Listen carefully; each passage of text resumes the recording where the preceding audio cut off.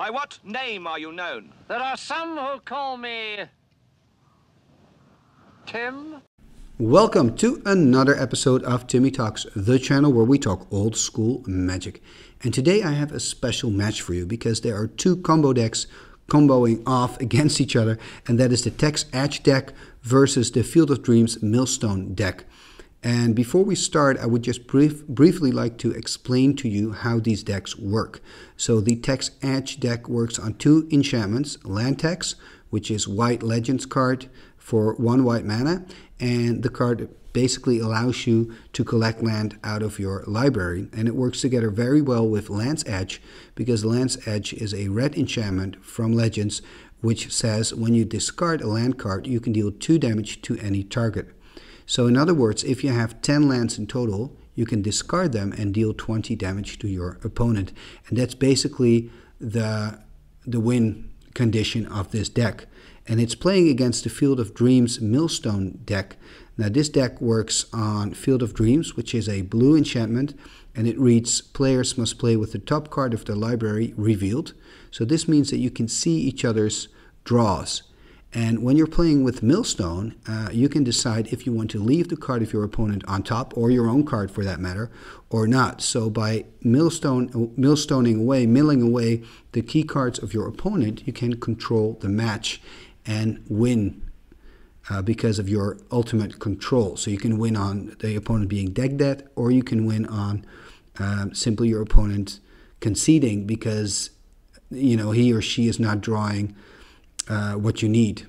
So that is basically how these two uh, decks work, and I'm really curious to have a look at this match and uh, see what's going to happen. So let's go continue to game number one. Game number one, and it looks like both players are scrying here, so they must have taken a mulligan down to six cards, and I believe it's the player on the right playing with the uh, Field of Dreams deck who is on the play. And he starts with a Library of Alexandria. That's kind of your dream start. But he has taken a mulligan, so that means he cannot activate it yet. Drawing card number six. Player on the left playing with the Land Tax Land's Edge combo deck uh, has started out with an Ivory Tower. And it's interesting to see that he doesn't play his second land drop. That's probably because of the Land Tax. He wants to be able to activate the Land Tax when he draws it. And he's gaining life from the Ivory Tower as well. So that's quite interesting that you're in a matchup where you can say, hey, you know what? I'm just going to skip this turn and do absolutely nothing. And you don't even have to pay for that. So you're basically giving your opponent a time walk and it has no consequence. Quite interesting. But the library is active now. And when you're having the land tax deck, you're, you're pretty happy that you're behind on land right now because that means that as soon as you draw a land tax, it gets activated. One of the things I do wonder about with these combo decks is that they're both very slow decks. And of course you're playing at a tournament, so that means you have limited time. And I believe the, the rounds at the Hill Giant Cup uh, are 50 minutes, and it's a best of three games. So that could be something that you need to keep in the in the back of your head as well when you're a player. And this is interesting. There's a Sindbad hitting the battlefield. It's a 1-1 creature. There's a second one from the Arabian Nights and there's a disenchant and there's an ancestral recall.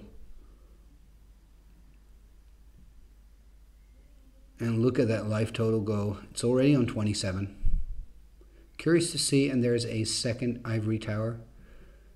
I'm sure there's a library of lang in there somewhere to gain even more advantage from those uh, ivory towers. But what I wanted to say is Sindbad is a creature, 1-1 creature you can tap to draw a card. If it's a land card, you can keep the card, and if not, you discard the card.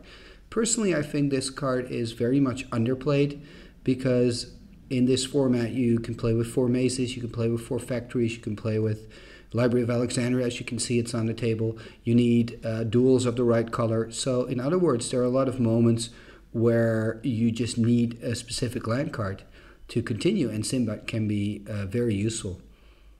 And there's the live game again 33 live for the Land Tax Land's Edge player. I mean, that's pretty amazing. And there's a Winds of Change. And what's going to happen? There's going to be an extra draw. Will it, will it resolve? Obviously, the. Um, nope, there's a counterspell. Obviously, he's looking for his combo pieces here, the Land Tax player. And he's playing a Demonic Tutor. That's nice interesting choice to first play the wind, Winds of Change and not playing the Demonic Tutor. Interesting, kind of expecting it to be countered. So that's a nice play, actually. And the land tax is in the game. And then when you're the opponent, you know, uh oh, the first piece of the puzzle is there.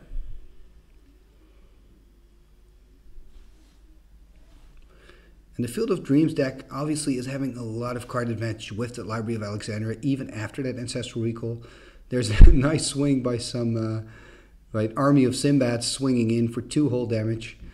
Um, but this is just going to be insane because the Ivory Towers um, they get to stack after the land tax is resolved because he can decide the order of the stack. So he puts the Ivory Towers first, and then as a response to the trigger, he uh, uses the ability of land tax in the upkeep to search for more land, so he gains even more life, and he's already, I think, a 36 or something, or 38. Uh, and there's a moat, the white enchantment, obviously handy in this kind of type of deck. Uh, he's playing creatureless, I assume, so that means that a moat is just a great tool to keep the at least the creatures on the ground uh, away from your life total. And there's the Field of Dreams, very nice. Unfortunately, we cannot really see the top of the decks from here. I believe that's a mind twist on the top of the Field of Dreams player, but I can't really see it. So that's a bit sad for this particular matchup that we cannot see the top cards because it has a big influence on the game. And as you can see, the player on the right is actually going to write down the names of the cards. Wow, and that's some dedication there. I could never do that on a Sunday, so my respect for you, sir, for doing that. Is he going to keep this up the whole game? That's going to be interesting. And I believe the uh, Tax Edge player is now on 44 life. That's crazy. And this is interesting as well. You see him activating. Um, it's funny. He wanted to play a uh, sorry, City of Brass on the Sindbad. Uh, and this was interesting because he's actually using the Sindbad also to go through his deck. So when he sees a card at the top, in this case, Swords to Plowshares, which is useful, useless against this uh, land tax land edge deck, he uses the Sindbad to get rid of the card. And that's another great way to use Sindbad. If you're looking for a specific uh, card and you can see the top of your deck and you know it's not there, you can simply mill yourself with the Sindbad. So again, I think the card is underplayed. I um, I have two copies myself. I'm, I'm thinking about maybe getting two more and uh, and doing something with that card. And there's a mind twist. We all saw him draw it. And uh, this also deactivates the ivory towers, although I think that life total isn't really um, of any importance for the uh, uh, for the land tax lands edge player at least, because when you're playing with Field of Dreams, you don't want to kill your opponent with life totals. And look at him go there. He's writing down the other names of the cards, and that's some dedication. That's nice. And there he goes again. Interesting. And there's a disenchant on the land tax. That's always the thing with these combo decks, especially when they get a, a little bit more known. Of course, Randy Buehler was the one that built the land tax Lands Edge uh, combo deck that did very well in the uh, uh, with the EC ru- ruling. Um, and people know about this deck, so they kind of know, okay, that Land Tax and Land's Edge, those are the two cards that I want to disenchant. And there's a Millstone, and now he kind of has his combo going because with Field of Dreams, he can see what the opponent is going to draw, and he can get rid of those key cards. And there is a Scoop. Wow, that went fairly quickly. And I actually asked uh, the player on the left with the Land Tax Lands Edge deck, uh, why did you scoop? And he told me, well, it's a matter of time. We have a limited amount of time. And with his combination on the board and the disenchant over my land tax and the cards I still had left in my hand, remember, there was just a mind twist. So it would, took him, it would take him a while to get back. And he, he already played his Ancestral Recall. And he told me, you know, there was a very small chance of me actually winning that first game, so I'd rather concede, give it to him, and have more time to win game number two and game number three. Uh, for now, it's a victory for the Field of Dreams Millstone deck, and let's continue to game number two. Game number two, and it's already an interesting start here because the uh, Land Tax Lands Edge opponent has uh, chosen to be on the draw and not on the play which makes sense when you're playing uh, with that deck, but it's interesting. It's all about uh, staying behind on that land count. And look at that explosive turn there of the Land Tax deck. I see two Moxen, I see a Fellwar Stone, a uh, Sol Ring, and a Plains on the battlefield. Very explosive, but is it really going to help him? I mean, these are not the pieces that you want to see, and his hand is, is almost empty now. So, despite the fact that he's on the draw and not on the play, his hand is almost empty. And that Field of Dreams is a great start because it's an important piece of your combo. And there's the Millstone.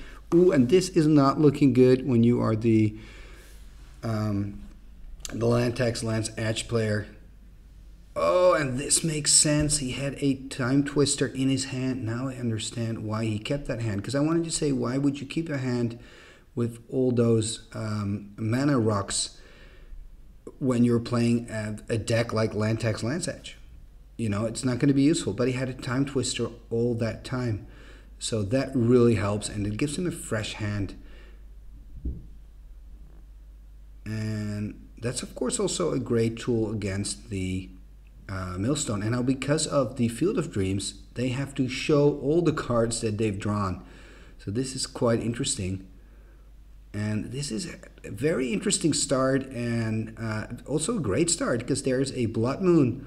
And that's completely canceling the plans, I believe, of the uh, Field of Dreams player, at least to cast anything for himself. He can still mill, though, with the two red mana.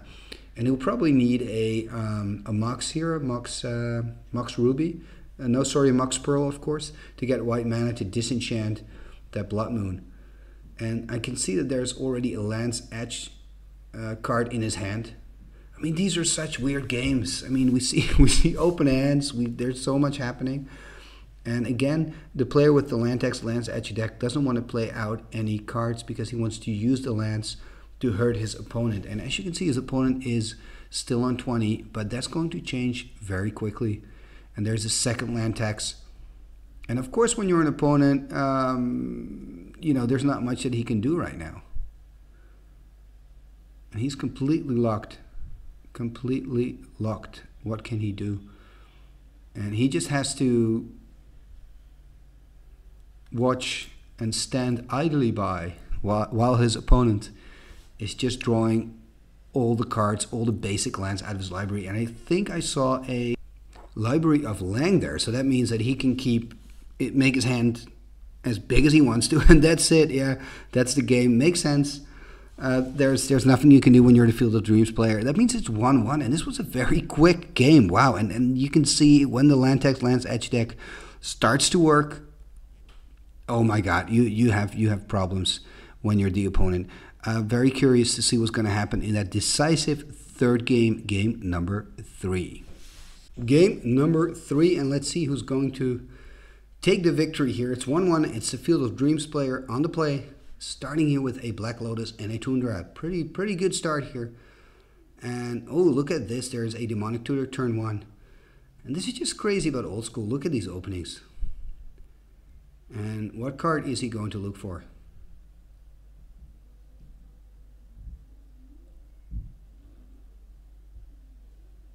And let's see what's going to happen. And there's another Black Lotus. I mean, look at this board state. And the Black Lotus goes, sacks it for three white. Apparently, there are two land taxes on the field and an ivory tower. Okay, this is great. Only two cards in hand, but land tax cannot be activated yet because the opponent doesn't control more land. And it's interesting to see here, and I think it's a good decision by the Field of Dreams player not to play out a second land and simply to wait. I mean, playing out a second land would just help your opponent and he has a Sindbad in play. We saw that one earlier.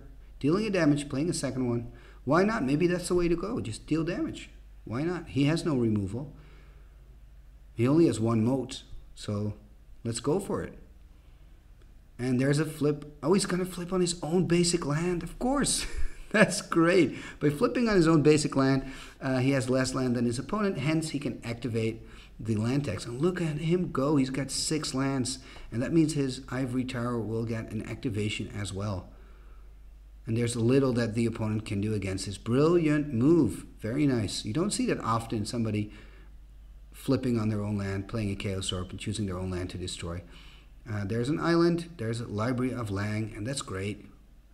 That's all you want, really. Library of Lang, Ivory Tower, sitting in your tower, waiting until you get a Land's Edge, and then finish the game. There's a double attack by the Sindbads. Obviously, the opponent is not playing out any more basics, or I mean, any more land in general. There's a disenchant on the ivory tower, well played, and there's a disenchant on the lotus. Will there be a counterspell?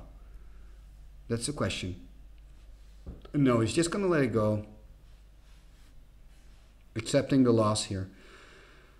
And this is interesting. The uh, land tax player has decided to just go on and play out basic lands and kind of not trying to get uh, behind with the land count.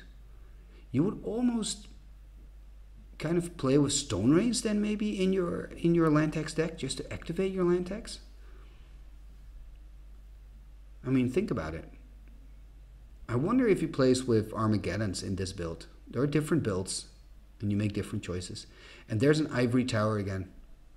And that is what I like about combo decks. You think, okay, a combo deck is boring because you just have a few pieces that you want to assemble. But what's interesting are the pieces surrounding your combo pieces. How are you going to make your deck as efficient as possible? And how are you going to make your deck um, withstand all the different type of decks that you have to play against?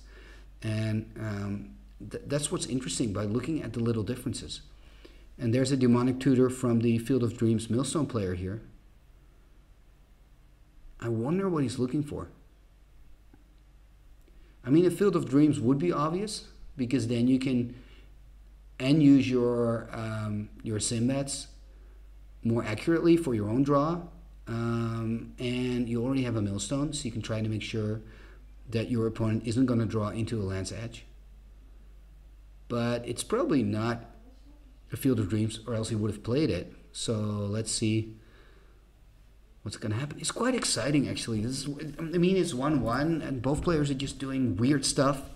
It's cool to look at, and I, I don't see these games often with these decks. And there's a, there's a little mill there. Why not when you have the mana?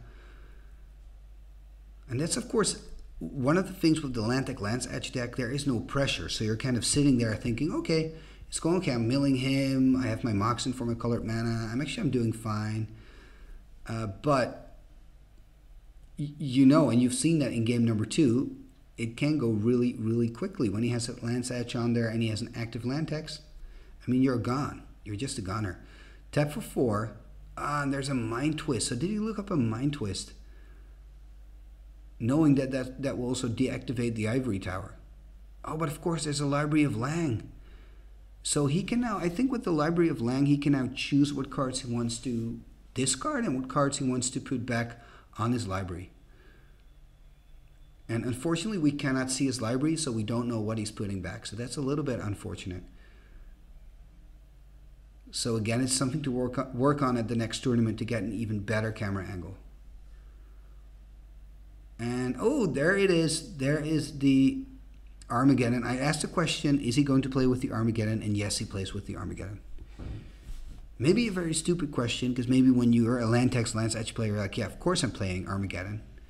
Uh, maybe, but again, I've never played this deck, so I'm hardly an expert. And let's see what's going to happen next. Because when you're the Field of Dreams player, um, you don't really want to play out of land because then the land tax gets activated. That's funny. He's throwing away Braingeyser. Yeah, I don't really think you'll need it for this matchup.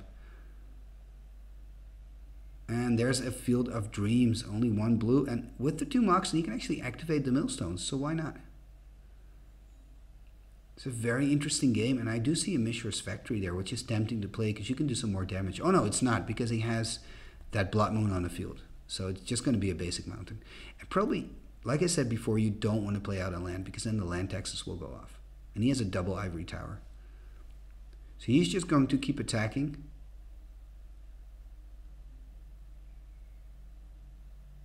It's a little bit hard to see what his life count is believe it's it's now it's 12 or 13, one of the two. I believe it's 13 actually, because it's a 5 on the side. So he's on 13, and the Field of Dreams player is still on 20. And yeah, he played a land, of course. Okay. Oh, look at him go. Look at him riding down there. Great. I, I like that. Very professional. And there are the lives again. Oh, and that kind of sucks when you're, you know, trying to just do your do your damage with the uh, Sindbads there. There's a Winds of Change again. And Winds of Change is a legend card that lets you like put back all the cards in your hand. You have to reshuffle them in the library and then draw the same amount of cards. So if you have a hand of four, you put it back in your library and you draw four again. Or in this case, I believe you had like I don't know eight cards. And now we have this silly thing going on that because of the Field of Dreams, you have to show all the cards that you've just drawn. It's just crazy. I mean, I love these games. Crazy to look at very hard to commentate because I cannot always follow what's going to happen. I do see a Land's Edge there in his hand. And a Land's Edge and a Blood Moon, they work so great together. Fantastic. There's another draw. There's a Scepter. And you don't want to play out another land. Or are you going to do that? I think that's what they're discussing. Because if you play it out, you'll activate the two land taxes. But if you don't do anything, you're going to die regardless. So what can you do? I see a time twister there. That might be a solution. Because he's having the combo pieces now. So maybe with the land time twister, you can, you know, force something.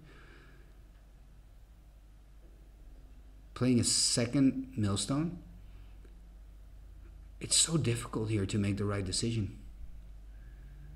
Drawing land after land in any other game, this would be great, you know, but against this deck, I mean, it's just crazy. You're playing against a deck where you don't want to play out lands. I mean, that's the essence of Magic, playing out lands and ca casting spells. Sylvan Library, of course, a beautiful addition. And this is really an enchantment-heavy deck, so um, I would consider, you know, sideboarding in a card like Presence of the Master against these enchantment-heavy decks. Because that would be a serious problem for the land tax Land's Edge player. Of course, he has disenchants, but still. And tranquility, yes, tranquility would really, really help. But then you have to play green. So looking at three cards here. Oh, of course, because of the Sylvan Library. I want to say not sure why, but it's because of the Sylvan Library. And these are just crazy board states.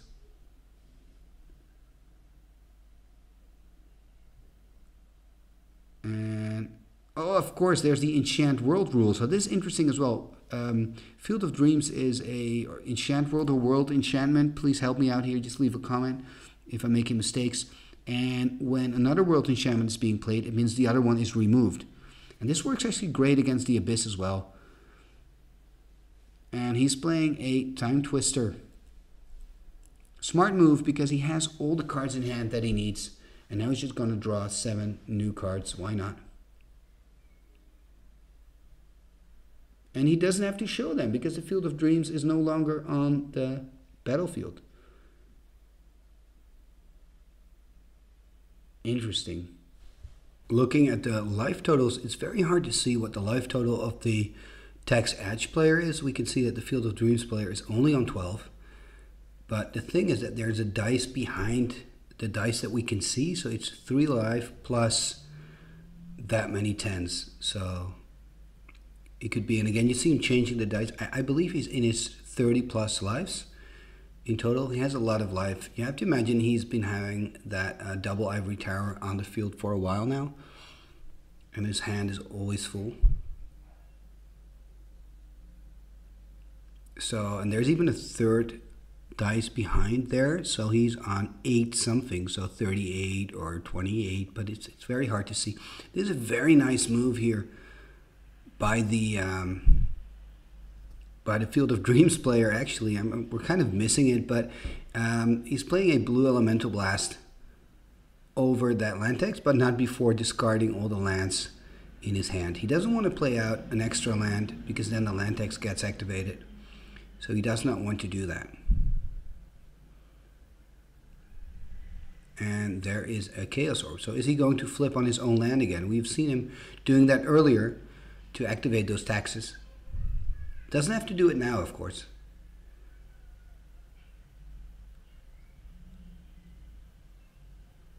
And let's see. What will he do next?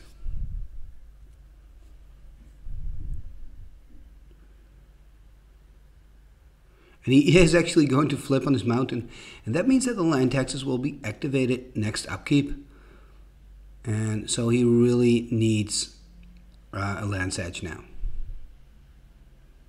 And this works double for him because he's going to take out a lot of basic lands, so the chances of finding something useful are increasing then as well. Let's see what a Field of Dreams player can do. Play out an Ancestral Recall. Okay. Playing out a Strip Mine.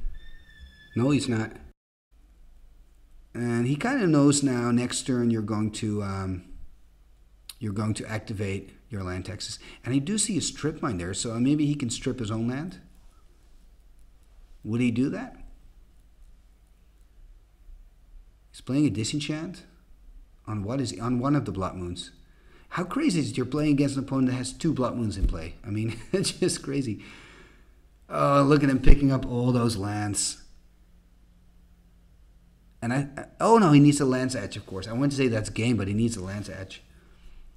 He's gaining a lot of life there, and he's going going to 30 or something. And look at those board states, just crazy. He needs a Mox Ruby, and he has all of them. And there's a Land's Edge, and that's the game. Yeah, I think. oh, oh. Oh man, this is so hard to follow, but that was the game. Uh, well done, well played. It was a pleasure to look at both of these decks, so the Land Tax Land's Edge combo deck and the Field of Dreams Millstone deck.